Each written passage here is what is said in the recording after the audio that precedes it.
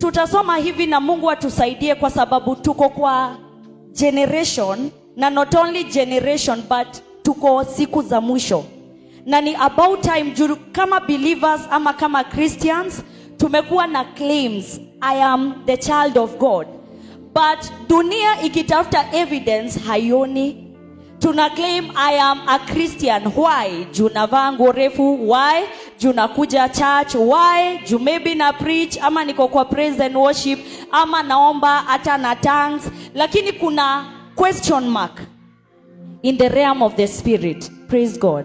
Na tunaona hata sons of skiva wakati walienda kuconfront that man mwenye alikuwa possessed with a demon al- walienda akasema we adjure you by jesus whom paul preaches.